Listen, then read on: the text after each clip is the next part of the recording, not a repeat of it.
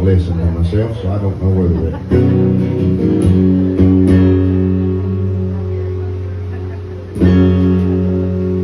Wrote this song some time ago. I was sitting up real early in the morning, and I was uh, I was intoxicated, like a lot.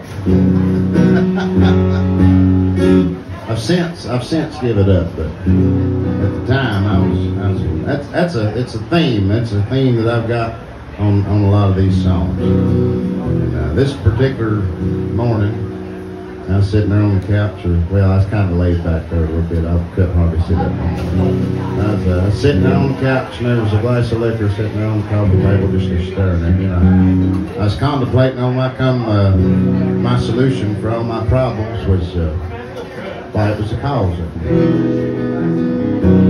And uh, thus this song was born. Got a warm glass of whiskey. There's a we made a music video years ago before anybody knows what they were doing with cameras and sound and such. And I didn't know how to sing. So there is a music video of this song out there on YouTube. Check it out.